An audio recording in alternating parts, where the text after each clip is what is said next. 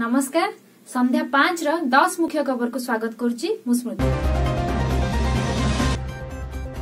ସର୍ବାଧିକ କରୋନା ପ୍ରଭାବିତ ସାତ ରାଜ୍ୟର ମୁଖ୍ୟମନ୍ତ୍ରୀଙ୍କ ସହ ଆଲୋଚନା କଲେ ପ୍ରଧାନମନ୍ତ୍ରୀ। କୋଭିଡ ନିୟନ୍ତ୍ରଣକୁ ନେଇ ରାଜ୍ୟ ସରକାର ନେଇଥିବା ପଦକ୍ଷେପଙ୍କୁ ମୋଦିଙ୍କ ପ୍ରଶଂସା।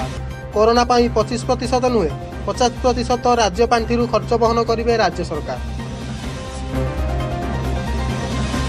ବନ୍ୟାରେ ଧୋଇଗଲା ଦୁଇଶହ ଅଠତିରିଶ କୋଟି ଟଙ୍କାର ନଦୀବନ୍ଧ।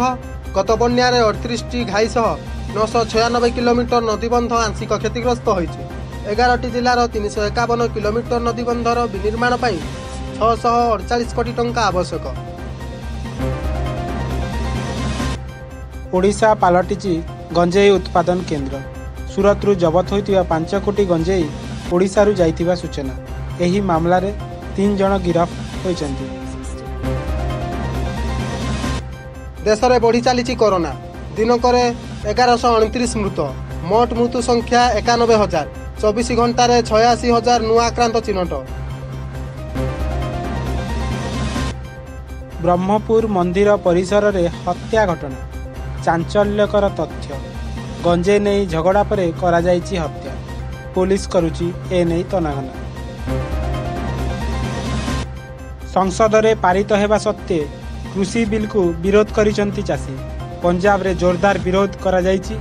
କେତେକ ସ୍ଥାନରେ ରେଳ ଧାରଣା ଉପରେ ବସି ବିକ୍ଷୋଭ ପ୍ରଦର୍ଶନ।